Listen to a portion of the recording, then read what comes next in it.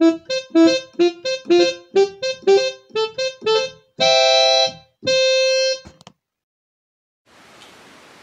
den všem. Vítám vás u našich zpráv a zároveň přeji příjemný den.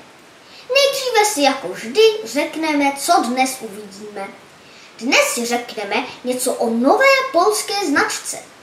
Dále o nové Škodě Slavia a v drobnostech něco o Škodě Octavia RS.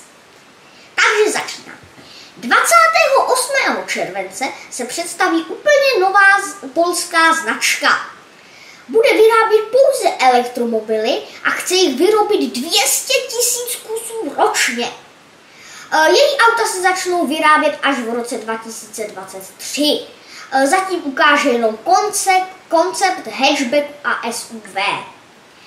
E, no jsem zvědav, co to bude zač, protože Poláci moc zkušeností s výrobou aut nemají.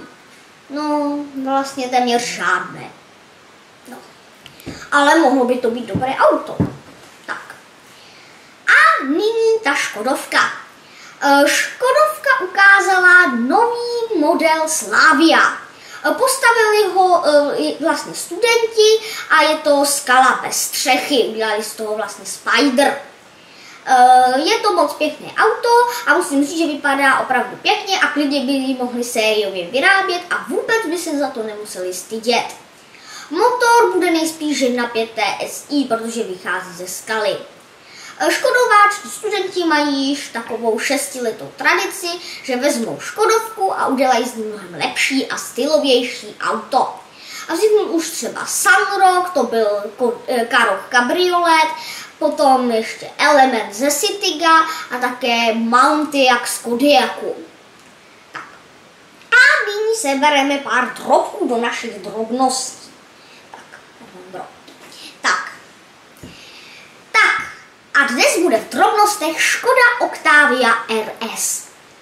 E, pro všechny fanty velkých motorů mám velkou zprávu, protože dlouho, protože zjistilo se, že Škoda Octavia RS se nebude dělat pouze jako hybrid. Pod kapotou bude moct být i klasický benzínový 2 litr s výkonem 245 koní. E, nebude chybět ani kadla kadla TDI s vysokým točivým momentem a otřesným zvukem motoru, který bych fakt v RS nechtěl všechno z našich zpráv. Já vám přeji příjemný zbytek dne, ať, eh, ať je hezky, teď zrovna prší a je to hnusně. A, a nashledanou, ať už ve zprávách nebo u nějaké reportáže.